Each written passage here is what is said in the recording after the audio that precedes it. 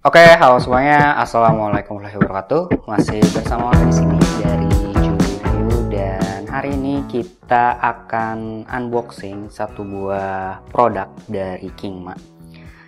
Ini adalah baterai untuk XT100 untuk Fujifilm XT100. Jadi beberapa bulan yang lalu ada masalah sama baterai baterai dari Fujifilm X-T100 yang saya punya.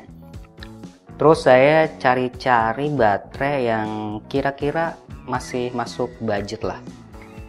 Masih oke okay dan harganya nggak terlalu mahal gitu. Karena kan untuk baterai NPW 126 itu yang original dari Fujifilm itu harganya lumayan cukup mahal jadi ya ini adalah alternatif untuk pengganti baterai dari Fujifilm X-T100.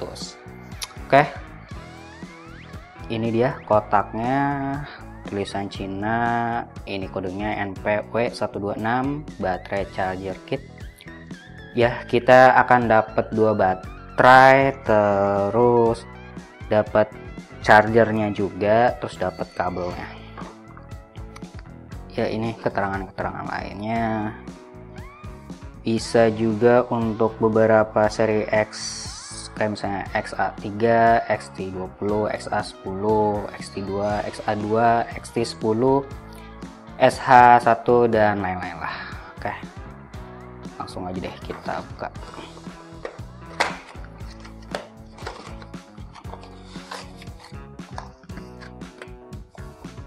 Ya ini dia yang kita dapat di dalamnya. Yang pertama kertas-kertas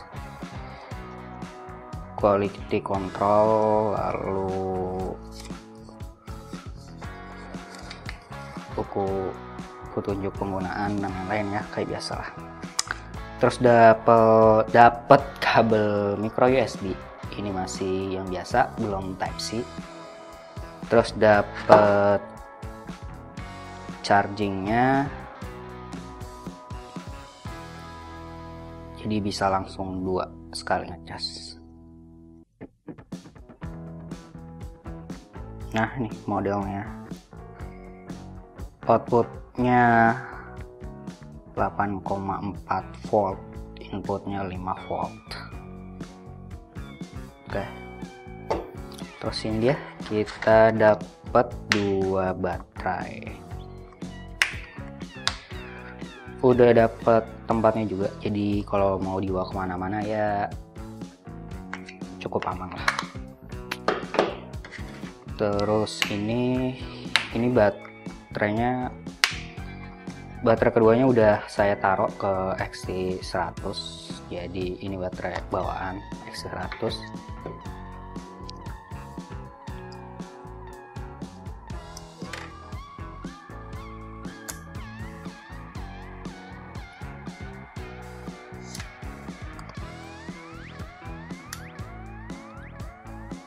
bentar ah repot banget.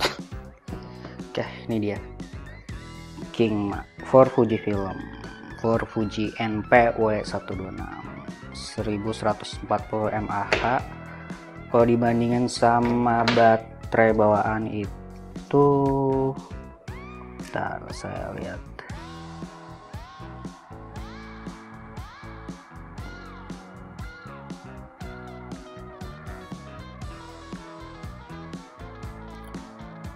ah nih. Ini tuh nggak tahu tulisannya apa tapi ini kayaknya kapasitas baterainya deh. 1260 kalau yang aslinya dan ini 1140 uh, udah pernah saya cobain ini untuk satu bulan belakangan dan saya sih ngerasa baterai dari Kingma ini nggak jauh beda ya dari baterai bawaannya. Tapi udah pasti ada perbedaan sih kalau dari baterai asli. Ya dinilai dari harganya juga kan emang beda. Tapi saya rasa ini bisa jadi sebuah alternatif untuk kalian yang mungkin lagi cari-cari baterai untuk Fujifilm seri XT atau seri X dan mau harga yang relatif cukup murah dibandingkan dengan baterai originalnya ya mungkin ini bisa jadi alternatifnya sih. Ya udah sih gitu aja. Dan ya untuk nanti kalau misalnya ada hal-hal yang perlu saya update ya akan saya bikin lagi videonya. Dan ya makasih banget untuk semua yang udah nonton. Dan jangan lupa di subscribe, di like kalau kalian suka dan di share pada orang-orang yang butuhkan. Dan silahkan tanyain apa aja yang ada hubungannya dengan Fujifilm baterai alternatif ini dari Kingma. Silahkan tanyain aja di kolom komentar yang ada di bawah. Kalau bisa saya jawab, pasti akan saya jawab. Oke, makasih banget untuk semua yang nonton. Saya pamit. Wassalamualaikum warahmatullahi wabarakatuh. Salam juru review.